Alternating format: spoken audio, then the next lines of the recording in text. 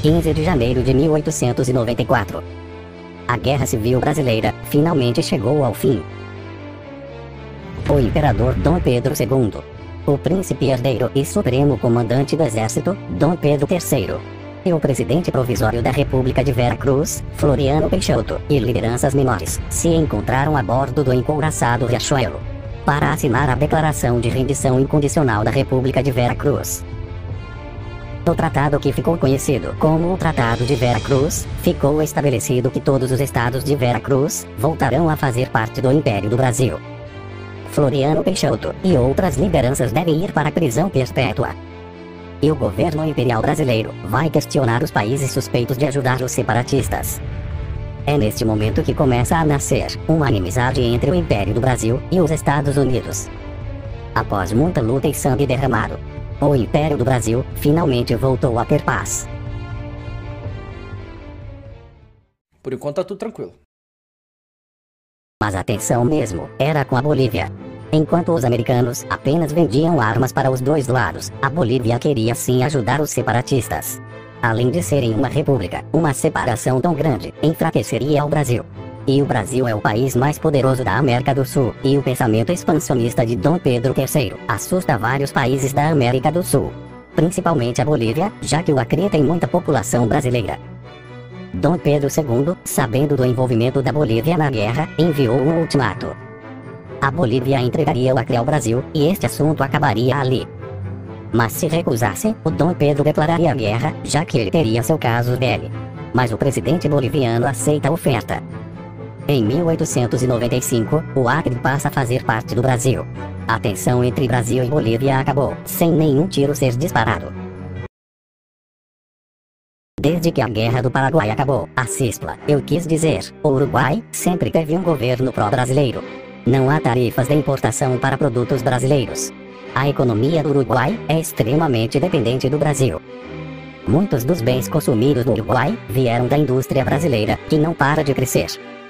Além disso, muitos brasileiros moram no Uruguai. O fluxo de brasileiros para o Uruguai é contínuo. A destruição causada pela Guerra Civil Brasileira trouxe muito prejuízo ao Nordeste. Mas o Império do Brasil nesta realidade é economicamente mais forte. A corporação Wild tem importantes empreendimentos no norte do país. Agricultores vendem produtos à empresa, que exporta para o mundo. Isso torna o Brasil um gigante da agricultura. Maior do que já é. E isso, consequentemente, é um incentivo à indústria. O que eu quero dizer é que o Brasil é economicamente mais forte que na realidade. Dom Pedro II resolve criar um programa de ajuda financeira aos estados do Nordeste para reconstruir a infraestrutura, limpar escombros, enviar suprimentos e etc. Mas ainda vai demorar muitos anos para o Nordeste voltar ao normal. 1 de janeiro de 1895 Após um ano de recuperação da Guerra Civil Brasileira, o herdeiro Dom Pedro III é oficialmente coroado como imperador do Brasil. Dom Pedro II já estava com a idade avançada e precisava viver sua aposentadoria em paz. Após um ano de recuperação, boa parte da infraestrutura do Nordeste foi reconstruída, apesar de ainda levar vários anos para a população se recuperar. Um mês depois de ser coroado, Dom Pedro III faz uma reunião com os três ramos das Forças Armadas. A Armada Imperial é muito importante. E ela sofreu perdas consideráveis na guerra. Desde que a guerra acabou, o exército começou a diminuir o seu efetivo. Querendo ou não, um exército grande é caro de se manter. E representantes da inteligência disseram que agora que a guerra acabou, seria interessante expandir as operações de inteligência ao resto da América do Sul quem sabe até na Europa, para a espionagem industrial. Enquanto isso, o fluxo de brasileiros para o Uruguai continua. Isso normalmente preocuparia o governo. Mas uma parte considerável do governo do Uruguai tem influência brasileira. Mas era apenas no legislativo, para favorecer comercialmente o Brasil. Dom Pedro III tem outra ideia. A inteligência vai fazer sua primeira grande operação internacional. A Operação Fraude. Basicamente, agentes brasileiros vão se infiltrar no sistema eleitoral do Uruguai. Isso vai pavimentar um caminho para uma anexação do Uruguai. Não pela guerra, mas por um referendo popular. A reconstrução do Nordeste continua em curso. Aos poucos, Recife começa a voltar com suas atividades. Mas os custos com a reconstrução estão ficando altos. O orçamento imperial está começando a ser afetado. Para resolver esse problema, Dom Pedro III resolveu substituir o seu ministro da Economia. No dia 17 de fevereiro, ele chama um novo nome para equilibrar as contas imperiais. João Guedes. João Guedes é um economista, formado na Escola de Chicago. Como grande parte das obras de reconstrução foram concluídas, João Guedes decide cortar a ajuda financeira pela metade. E a outra metade está prevista para ser cortada no ano seguinte. João Guedes também tem uma ideia, e mostra para Dom Pedro. Essa ideia é cortar pela metade os seguintes impostos no Nordeste: o imposto de renda, imposto sobre vendas, IPTU, imposto corporativo, e vários outros. João Guedes calculou que com esse corte de impostos, o Nordeste vai conseguir se recuperar mais rápido, além de atrair investimento externo. Inicialmente, esses cortes podem ferir o orçamento. Mas o João Guedes também calculou que essas mesmas medidas vão ser mais um incentivo à indústria localizada no Sudeste. Na verdade, isso é um incentivo à própria economia como um todo, e isso no longo prazo vai fazer com que os impostos restantes deem o mesmo retorno. Abril de 1895 o encouraçado que Dom Pedro II encomendou à Armada Wild está 70% concluído. A Armada Imperial perdeu um encouraçado durante a guerra. Aliás, Dom Pedro III teve uma nova conversa com os líderes da Armada Imperial. Ele sabe que o domínio naval é muito importante. Ele então começa a Iniciativa Atlântica. O objetivo dessa iniciativa é fazer com que a Marinha Brasileira seja forte e imponha respeito das potências europeias. Ela também deve ser a maior e mais forte marinha da América, inclusive mais forte que a americana. Os americanos estão construindo múltiplos cruzadores e encouraçados. Para atingir esse objetivo, o Império vai começar a modernizar o arsenal imperial da Marinha. O objetivo da iniciativa é que o Brasil seja capaz de construir pelo menos um encouracado por vez.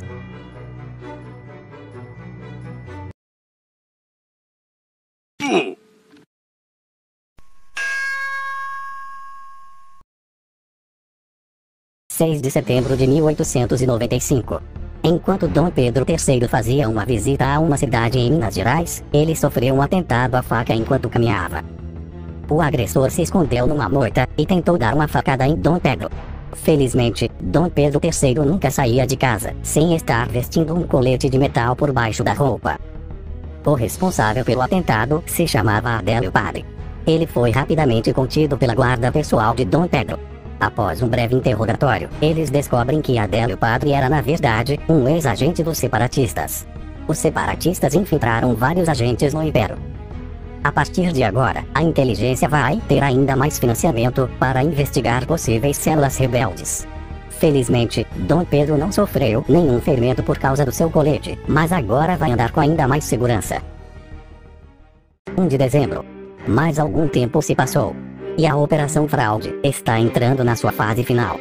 Os agentes brasileiros já conseguem manipular as eleições do Uruguai. E no dia 1 de dezembro, o governo do Uruguai realizou um referendo popular para decidir se o Uruguai seria anexado pelo Brasil ou se continua independente. Se anexado, o Uruguai será tratado como uma região autônoma, tendo sua cultura preservada, mas sob a jurisdição do Brasil. Após o dia de votação, 55,13% dos votos foram pro sim, apesar de haver um grande número de abstenções. Então, no dia seguinte, foi confirmada a anexação do Uruguai pelo Brasil. E foi decidido que ela iria ocorrer oficialmente na virada do ano. Assim, no dia 1 de janeiro de 1896, o Brasil anexou o Uruguai. Este é mais um grande incentivo à indústria brasileira. Nos próximos meses, as questões de assimilação vão dominar os noticiários. 1900. Vamos avançar um pouco no tempo. Esta é a virada do século. Com o passar dos anos, o Brasil foi voltando à estabilidade. E enquanto as tretas dentro do Brasil acontecem, Alemanha, Inglaterra, França e Suécia começaram a realizar expedições para a Antártica para demonstrar seu poder e explorações científicas. O Brasil tem a gigantesca vantagem de estar perto da Antártica. Foi então que, em fevereiro de 1901, uma expedição brasileira partiu da Terra do Fogo e seguiu para o continente gelado. Ela conseguiu explorar o interior da Península Antártica. Com isso, Dom Pedro conseguiu atrair prestígio ao Brasil.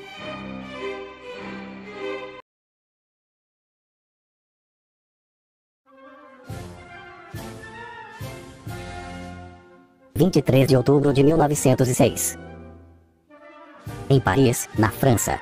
O 14 bis. O primeiro avião do mundo decola. Ele voou por 60 metros, a uma altura de 2 metros. Perante mil espectadores. Esta é a invenção do avião. Santos Dumont, o seu inventor, ganhou grande fama. Dom Pedro III fez questão de participar do evento. Neste dia, o Império do Brasil recebeu um grande prestígio internacional. Nesta realidade alternativa, o Brasil finalmente se tornou uma potência respeitada. Nos anos seguintes, o Brasil seria o primeiro país a produzir aviões militares. Sem as instabilidades da República Velha. Sem as revoltas, sem o coronelismo, sem os cangaceiros. E com uma industrialização mais acelerada. O Brasil neste cenário é uma potência de respeito. E em 1910, nasce um novo herdeiro. Dom Pedro IV.